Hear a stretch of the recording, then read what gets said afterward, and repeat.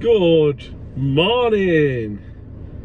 I'm not gonna lie, it's been a rough couple of weeks. It's just been so quiet, customer wise and definitely CX wise. I've done one job so far this year on the CX. Luckily enough, my customers kept me busy enough for the rest of the time, but it's still been quiet and I don't think in the last couple of weeks I've actually done a five day week like I normally would. So, well, it's Thursday today, so I'm talking about Wednesday. But actually, I'm going to go back to Tuesday. So Tuesday, I uh, I had all the pallets at mine, which uh, were my customers, so I had nothing on. So I thought I'll load them all in the van, about eight pallets, and go and dump them around at their yard, get rid of them, and then I'll try and have a look on the CX and try and find a job. So I did that in the morning, dropped them off in the yard, probably about 11. Went and parked up around the corner. so there for two hours bidding 50 odd bids, nothing. Not a single quote, and I was quoting less than a pound a mile for a long wheelbase jobs. I didn't get anything, honestly, absolutely dire it was. Um, then I got an email. Um, do you want to do this job? So I looked through it, and what a job it was. I was like, yep, that's my job, I'll do that. I'm not subbing that out, I'll do it myself. That is a mega job. So what was the job? The job was collecting Stockport that day Tuesday. Collecting Wellingborough Monday morning uh, Wednesday morning. Collect back in Stockport again Wednesday after that. And then go collecting Glasgow and then delivering Inverness at 8am Thursday morning what I'm classing that all as one day because obviously it's Thursday morning now and I'm free. I've got nothing to do. I mean, I'm in Inverness where there's no work, but I've got nothing to do. So that was all yesterday's job. And that was a grand total of 711 miles and 13 hours of driving. Now, I don't condone overly driving, but when it's been so quiet and you've got to get the money in, you've just got to put the effort in, to put that hard work in, and you've just got to do it. And that's what I did. So, as you know this video is called the thousand pound day. So it was actually 1063 pound plus VAT that I charged for that job. And the customer was happy with that. Um, which is a, a mega day. Uh, but it did involve a night out in Inverness. I was actually in a place called Nairn I think. It's like 25 minutes from Inverness and I drove here this morning. Um, mega mega day mega money for one day and i'm really really happy with it.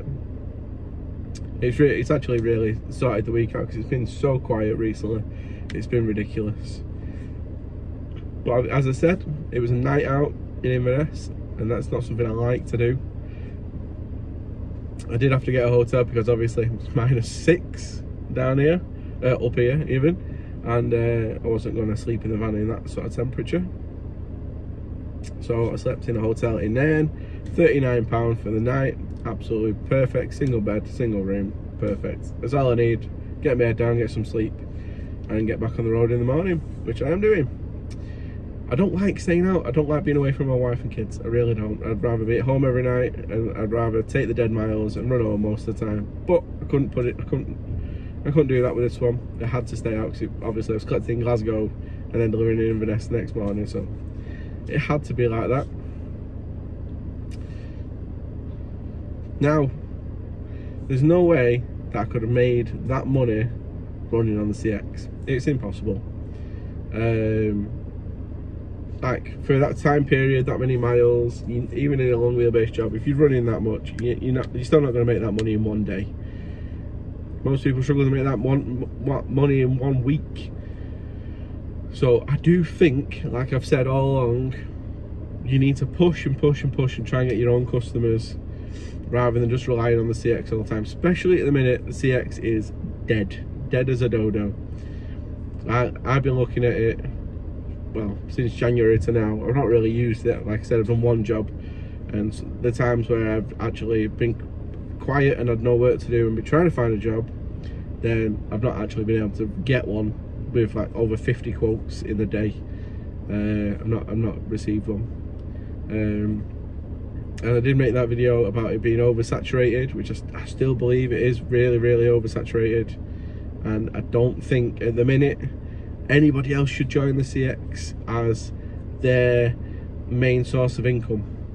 It's a lot of money to put in, there's a lot of money to run a van, and there's not much money coming out back to people at the minute. Uh, jobs are going cheap, and there's not that many jobs. So I really, at the minute, would not recommend jumping into the CX if you are thinking about it. I would recommend, if you do want to become a courier and you've got your own van, etc., and the right insurance, maybe speak to your local courier companies and try and sub for them first, at least until you know the CX is actually working and picked up again. Because at the minute, it's not picking up uh, as quickly as it should be, and the workload has definitely dropped quite significantly. Um, and I just I don't think that joining now you'd make a profit you'd end up putting yourself in debt and it's not not a good place to be um so yeah. Like what? Also I'd like to say that today oh yesterday isn't the only day ever that I've made a thousand pound in a day. It's probably one of the only days that I've made a thousand pound to myself. Like I subby a lot of jobs out so if I've got four five six vans out a day I can make more than that in a day. But then I've got to pay a lot. Well, I can charge more than that in a day, but then I've got to pay a lot of it out to subbies. So yesterday I actually had three other vans out uh, and me, and I probably made about 50 to 60 pound off the other three vans, if that, after paying them to do the jobs. Um, so I, I, doing the job myself is always going to be more money for me, and I, I actually subbed a job out which was shorter than this about six months ago. It was about 600 miles in total. It was a bit of a run around. It was like here, there and everywhere. And there was a night out involved. And I got charged £400 more than I'm charging for this job for a Luton to do it. And